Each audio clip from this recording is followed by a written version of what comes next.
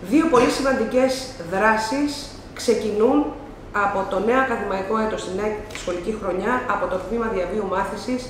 της Περιφέρειας Νοτιού Αιγαίου. Η μία θα ε, ε, ανοίξει και θα ολοκληρωθεί μέσα στον Οκτώβριο μήνα. 11 Σεπτεμβρίου θα είναι η πρώτη δράση, 23 θα είναι η τελευταία και έχει να κάνει με τις καθαρές θάλασσες. Είναι το πρόγραμμα που εξήγηλε ο Περιφερειάρχης της Νοτιού Αιγαίου, ο Γιώργος Χατζημάρκος, ε,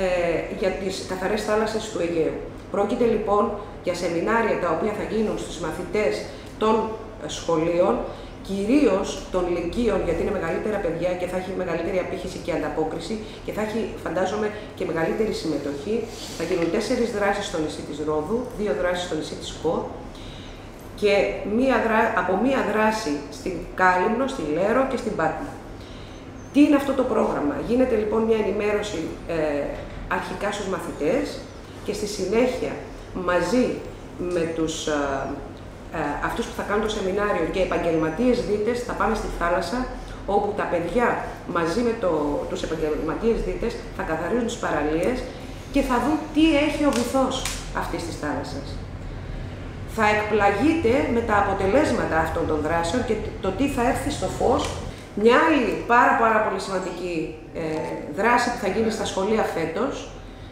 είναι η συνεργασία που έχω επιτύχει με την δίωξη ηλεκτρονικού εγκλήματος και μια σειρά ενημερωτικών σεμιναρίων σε όλα τα νησιά, αρχικά της Δωδεκανήσου και δευτερευόντως στις Κυκλάδες, όπου θα μάθουν τα παιδιά τα πιο έγκυρα στόματα και με τον πιο σοβαρό και έγκυρο τρόπο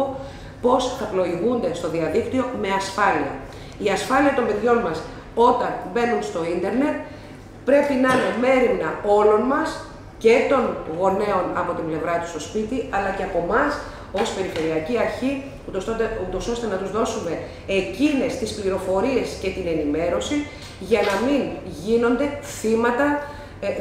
διαδικτυακών επιθέσεων με μια πολύ μεγάλη και ευρία γκάμα επιθέσεων δεν θα πω αναλυτικά, διότι όλοι ξέρουμε ότι μπορεί να είναι από σεξουαλική παρενόχληση μέχρι παιχνίδια επικίνδυνα τα οποία τα οδηγούν σε αυτοκτονίες κτλ.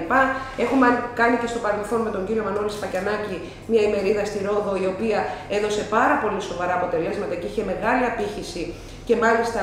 βρήκαμε και ένα θύμα της μπλε φάλαινας, αν θυμάστε όλοι, ε, εδώ στη Ρόδο.